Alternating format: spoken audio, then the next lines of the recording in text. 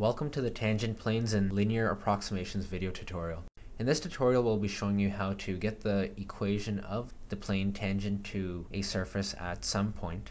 We'll also show you how to graph it and how to do it through first principles. Example 1. Find the equation of the plane tangent to the surface f of x comma y equals x squared plus 3y squared at the point 1, 1, 4 or x equals 1, y equals 1, and z equals 4. Step 1. Load the package Student Multivariable Calculus. This can be done by going to Tools, Load Package, Student Multivariate Calculus. Going on the line below, Step 2.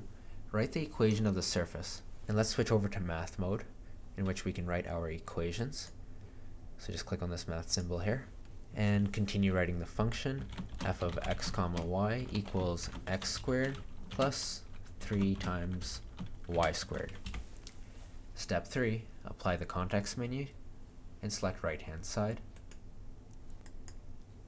Now we have the right hand side of the equation.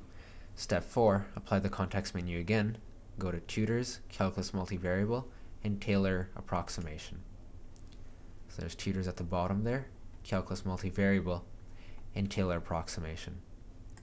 And we would like to know what the tangent plane is, or the equation of the tangent plane, at the point x equals 1 and y equals 1.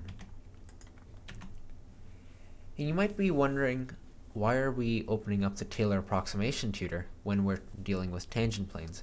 It's because the tangent plane is a linear approximation given by a degree 1 Taylor polynomial. Select the order to be 1, enter 1, and click on display. And there is the plane that is tangent to the surface at x equals 1 and y equals 1. The tutor also returns the equation of the plane, which is z equals 2x plus 6y minus 4. Click on close and Maple returns the plot of the graph, including the tangent plane. Therefore, the equation of the plane tangent to the surface, f of x comma y equals x squared plus 3y squared, is z equals 2x plus 6y minus 4. Example 2. Find the equation of the plane tangent to the surface, f of x comma y equals x squared plus xy plus 2 at the point 2, 1, and 8 through first principles.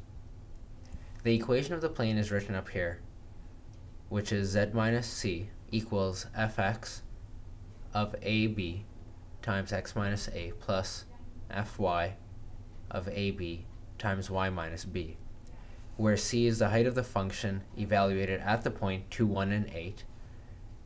fx of AB is simply the derivative of f with respect to x evaluated at AB, and so forth. Right now we're in text mode. You come into math mode by clicking on this math icon over here. And step one asks us to write the equation of the surface, which is f of x comma y equals x squared plus x times y plus 2. Step 2, Apply the context menu and select right hand side. Now copy and paste the function on the line below. Step 3. Using the context menu, differentiate the right hand side of the function with respect to x. Now in order to obtain fx of ab, simply apply the context menu again and evaluate at a point, which in our case would be x equals 2 and y equals 1. Hit OK. And we see that the derivative with respect to x evaluated at that point is equal to 5.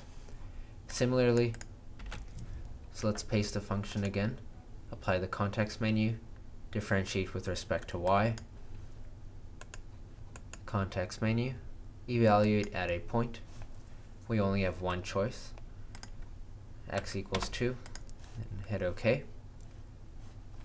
Now on the line below, step 5, write the equation of the plane. and we just copy this out, but we fill in the values. z minus c, where c is the height of the function evaluated at the point, and it's given right here in the question actually. z minus 8 equals fx of ab, we found it to be equal to 5 times x minus 2 plus 2, which is fy of ab, times y minus b, which is 1. Step 6, apply the context menu, go to solve, and isolate expression for z. Therefore, the equation of the plane tangent to the surface f of x comma y equals x squared plus xy plus 2 is z equals negative 4 plus 5x plus 2y.